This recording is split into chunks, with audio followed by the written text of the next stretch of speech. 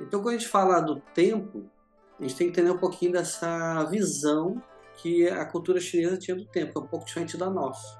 O tempo que a gente vê normalmente aqui no Ocidente, atualmente, ele é um tempo mais linear, no sentido que o tempo vai passando. Então tinha o passado, tem o presente, tem o futuro, a gente vive o presente e vai deixando um rastro do passado e a vida vai seguindo. Então cada ano entra um ano, entra outro, e um aprendizado que tem sobre isso, né? Mas a, ideia do tempo circular, né? circular porque tem um retorno, né? como um ciclo, né? tempo cíclico, porque é um tempo que tem uma qualidade. Então, cada ano nessa, na cultura chinesa, não só os chineses, né? a gente vê isso na, na Índia, eles os yugas, né?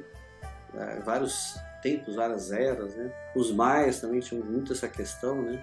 tinha os tuns, catuns, bactuns, vários ciclos. Né?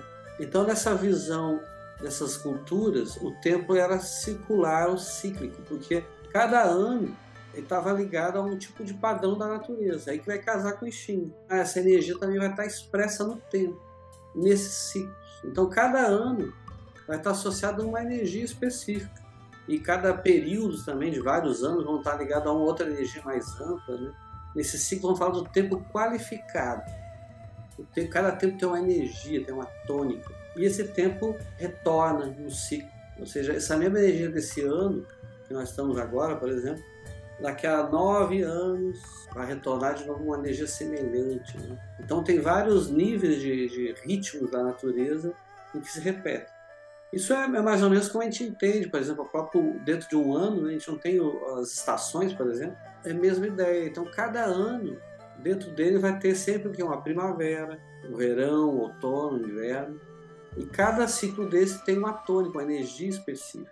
E o ano que vem também, agora estamos na primavera agora, ano que vem vai ter outra primavera, o ano que vem vai ter outra primavera. E todas essas primaveras dos anos vão ter características semelhantes, vão ter um tipo de energia semelhante.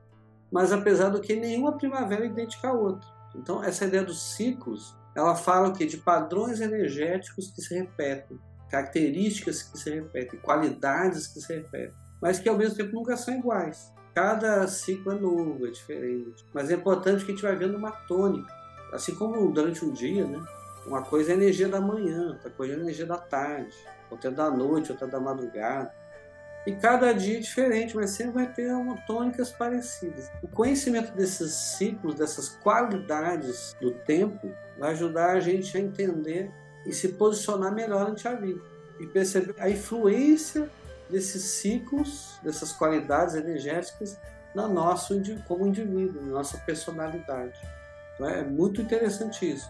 Isso vai ser aplicado principalmente nessa questão é, de conhecimento da nossa personalidade, que é o sistema que a gente vai aprender aqui, que é o Jigong Mimi. Então nisso vai ser, por exemplo, importante o ano que te nasceu, a data de nascimento. Porque essa, essa data de, de nascimento está dentro de um monte de ciclos. Então tem ciclos maiores de 20, 20 anos, tem ciclos anuais. Que ano é esse? Qual é a energia desse ano que eu nasci? E o mês que eu nasci? Essas energias, digamos, essas qualidades dos ciclos que a gente nasceu, vai dar uma tônica geral para a nossa personalidade. E nisso vai ser muito importante e interessante a gente conhecer a gente mesmo, essas tendências que a gente tem, baseado nessa influência desses ritmos. Então é muito importante para conhecer a nossa personalidade, como somos, né? como reagimos ante a vida, as nossas tendências positivas negativas. Né? E também é interessante porque é, esse ano que eu estou agora, por exemplo, tem uma energia específica, não tem? Então, qual é a relação desse ciclo atual com as minhas tendências individuais? Isso tem sistemas que vêm o ano, o mês, ou também o ciclo de mais 20 anos, mais períodos. Né? Então é importante conhecermos essas qualidades, esses, esses tempos, esses ritmos, essas energias, para poder conhecermos a nós mesmos e nos colocar, nos posicionarmos melhor ante a vida.